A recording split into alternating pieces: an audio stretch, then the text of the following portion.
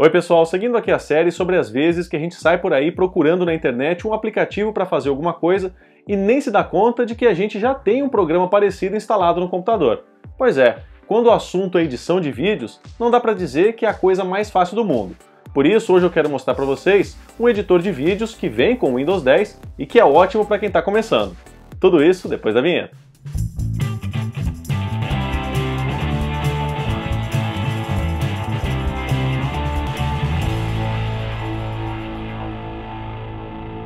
Bom, pessoal, a primeira coisa a ser feita é encontrar o Windows 10 aqui no seu computador. E a sua grande amiga aqui nessa tarefa é a barra de pesquisa. Então você vai clicar aqui e vai digitar editor de vídeo. Já vai aparecer aqui em cima. Aí é só você clicar.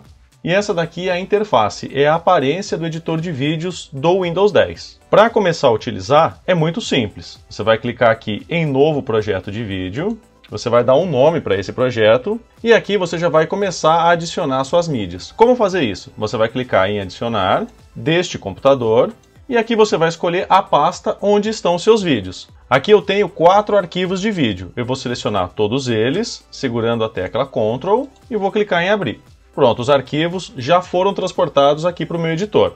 Para começar a editar, é muito simples. Você vai simplesmente arrastar esses clipes aqui para a linha do tempo.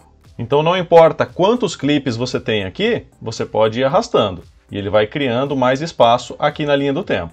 Tá vendo só? Você tem todos aqui. E você pode modificar a ordem desses clipes. Então se você quiser colocar esse daqui em primeiro lugar, você arrasta ele para cá e assim por diante. Você vai fazendo as modificações que você quiser aqui na sua linha do tempo. O mais legal desse editor de vídeos é que ele trabalha com clipes. Então você tem aqui esse clipe de 16 segundos. Se você quiser cortar, você vai clicar sobre ele. Aí aqui você tem essa barra de ferramentas. Você pode clicar em cortar, ele vai abrir essa outra tela aqui. Aí você vai cortar o seu vídeo, deixar do tamanho que você quer. Às vezes você errou um comecinho, deu uma gaguejada no final, então você pode utilizar essa tela aqui para cortar o seu vídeo. Quando estiver pronto, você vai selecionar aqui a parte que você quer manter e a parte que você quer cortar, aí você clica em concluído. Tá vendo? O clipe que era de 16 segundos ficou com apenas 14. Próximo clipe. Você também pode dividir o clipe. Você clica aqui nesse botão, dividir este videoclipe, ele vai abrir essa tela. Aqui você vai dividir o clipe e não cortar. Então, se você quiser que essa divisão comece aqui, é só você arrastar essa barrinha até o ponto exato e também clicar em concluído. Pronto, aí você dividiu o seu clipe, tá vendo só? Ele criou um clipe a mais. Você também pode adicionar texto a essa sua edição de vídeo. Então você vai clicar aqui em texto, ele vai abrir essa tela. Você já tem alguns modelos aqui que você pode utilizar. Esse campo aqui você usa para escrever o seu texto. E aqui você vai escolher o tipo de letra. Eu quero utilizar essa letra aqui, alegria. Pronto, ele já vai fazer a modificação e vai colocar aqui no seu texto. Clicando aqui sobre essa barra, você pode escolher onde esse texto vai entrar aqui no seu vídeo. Então eu quero que ele entre aqui nesse ponto. Então quando ele começar a rodar, ao chegar aqui nesse ponto, o seu texto já vai aparecer. Então aqui tem uma série de fontes que você pode utilizar para fazer o seu texto, e aqui você tem os layouts, ou seja, você pode escolher qual vai ser a aparência desse seu texto. Então aqui no primeiro, ele vai ficar na tela toda. Aqui ele fica na parte de cima, aqui na lateral, aqui bem centralizado. Aí aqui você volta para a parte de baixo e aqui na lateral direita. Aí você escolhe qual você quer utilizar aí no seu vídeo e depois clica em concluído. Aqui você também tem essa seção aqui de movimento. Aí aqui você tem as opções. Você pode ampliar no centro, tá vendo? Então ele vai modificando aqui a posição desse seu clipe. Aqui você tem reduzir centro, ampliar à esquerda, ampliar à direita, reduzir à esquerda, aqui um aplique panorâmico, então ele vai fazendo esses efeitos dentro do seu clipe. Se aqui tiver algum que te agrade, é só clicar em concluído também. Você ainda pode acrescentar efeitos 3D ao seu vídeo. Então você vai clicar aqui em efeitos 3D, ele vai abrir essa janelinha aqui, e aí você pode, por exemplo, acrescentar balões de aniversário. Você tem aqui alguns modelos prontos, eu vou clicar nesse daqui, balões de aniversário. Aí aqui você vai posicionar onde você quer que esses balões apareçam, se tiver uma música de fundo, você pode aumentar o volume e aí você clica em concluído. Aí quando você der o play aqui no seu vídeo, você vai ver que aparecem esses balões com esse efeito 3D. Se tiver uma musiquinha, vai aparecer de fundo. Aqui na aba de efeitos 3D, você pode ainda editar esse efeito que você colocou. Você tem aqui a galeria de efeitos e essa biblioteca 3D.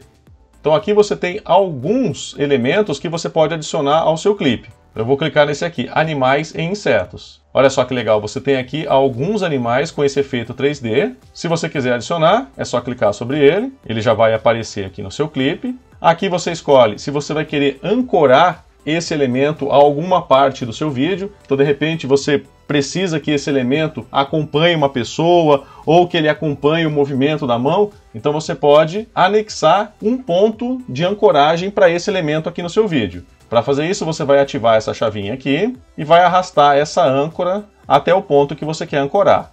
Então eu quero deixar ancorado com a mão aqui da menina. Pronto, quando você der o play, à medida que a menina move a mão, esse elemento também vai mexendo. Então isso funciona bem se você tiver uma pessoa em movimento, uma pessoa correndo, uma pessoa andando. Então sempre que houver esse movimento, ele vai acompanhar esse elemento em 3D. Aqui você tem algumas animações que você pode adicionar a esse elemento. Então aqui você tem uma plataforma giratória. Então quando você der o play, você vai ver que o cachorrinho vai ficar girando.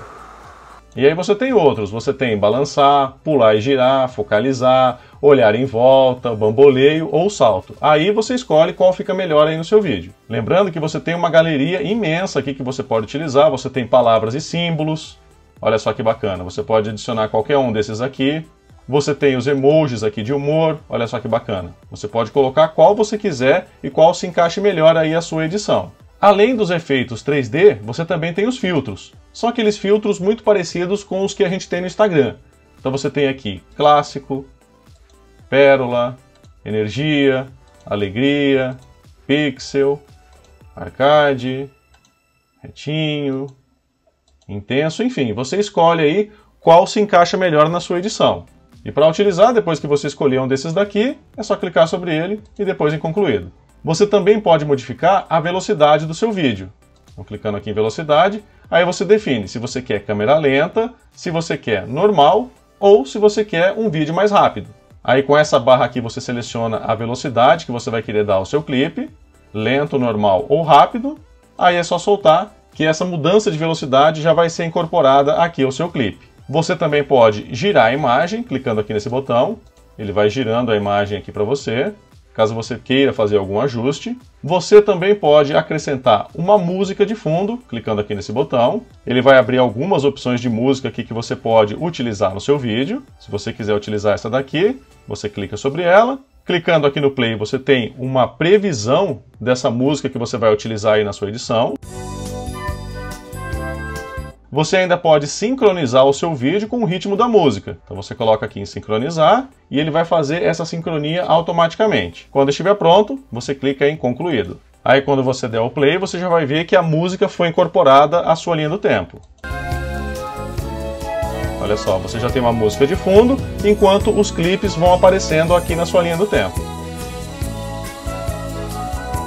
Se você quiser adicionar um arquivo de áudio, uma narração ou uma música a essa sua edição, você vai clicar aqui em adicionar arquivo de áudio. Aí você vai escolher onde está esse arquivo de áudio aí no seu computador e depois é só clicar em abrir que automaticamente esse arquivo já vai ser adicionado à sua edição. Uma outra coisa que você pode adicionar aqui à sua edição são os cartões de título.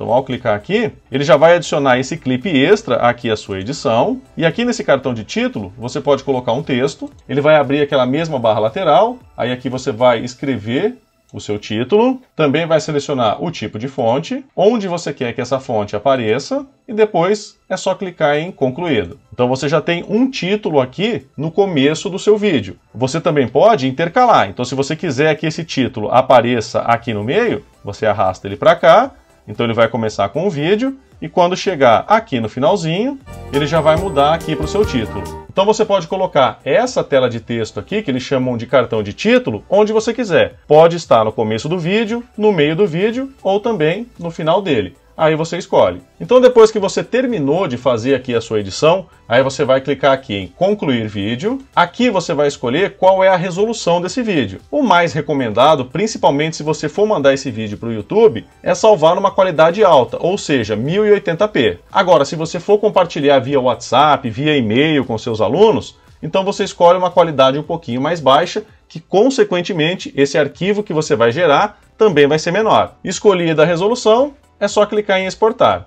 Quando terminar, ele já vai abrir a tela aqui com o seu vídeo prontinho.